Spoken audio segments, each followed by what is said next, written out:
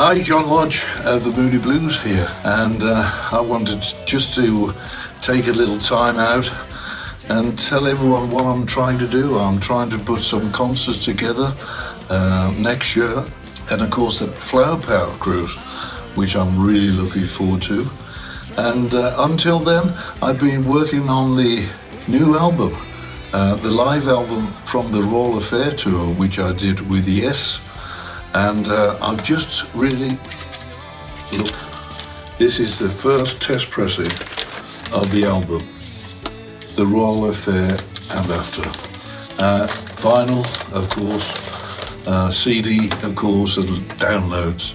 And that is going to be released uh, shortly.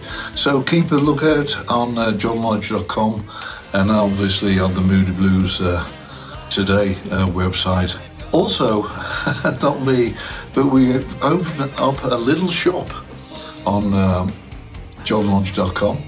Uh, some fun things on there I think you will like for yourself or presents or whatever. Until I see you again, which I'm looking forward to, take care and uh, the Royal Affair and after.